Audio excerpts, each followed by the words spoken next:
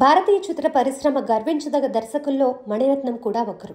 ఆయన ప్రతి cinema taking పరంగా టెక్నికల్ పరంగా రెగ్యులర్ సినిమాలకి భిన్నంగా ఉండి ప్రేక్షకులకి ఒక సరికొత్త అనుభూతిని కలిగిస్తుంది. ఇందుకు ఆయన గత చిత్రాలే ఉదాహరణ. ప్రతి ఒక్క నటుడు నటిమణి ఆయన సినిమాల్లో నటించాలని కోరుకుంటారు. రీసెంట్గా శివకార్తికేయన్ సాయి పల్లవి కాంబోలో తెరకెక్కిన అమరన్ ప్రీ రిలీజ్ ఈవెంట్ జరిగింది. ఈ కార్యక్రమానికి మణిరత్నం ముఖ్య అతిథిగా హాజరయ్యారు. ఈ సందర్భంగా సాయి పల్లవి గురించి మాట్లాడుతూ సాయి పల్లవి నటన అంటే నాకు చాలా ఇష్టం. ఆమెతో కలిసి పనిచేయాలనే కోరిక ఎప్పటి నుంచో ఉంది. ఆ రోజు కోసమే ఆలోచిస్తున్నాను. త్వరలోనే ఆ అవకాశం రావాలని చెప్పుకొచ్చాడు. దీంతో సాయి పల్లవి ఆనందంతో ఒక్కసారిగా షాక్కి గురైంది.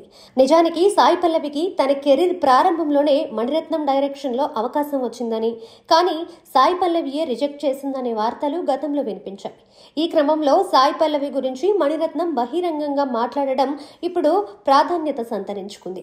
సాయి పల్లవి ప్రస్తుతం నాగ చైతన్యతో తండేల్తో పాటు రణబీర్ కపూర్తో కలిసి రామాయణలో సీతగా చేస్తోంది. ఈ రెండు సినిమాల తర్వాత రిపీట్.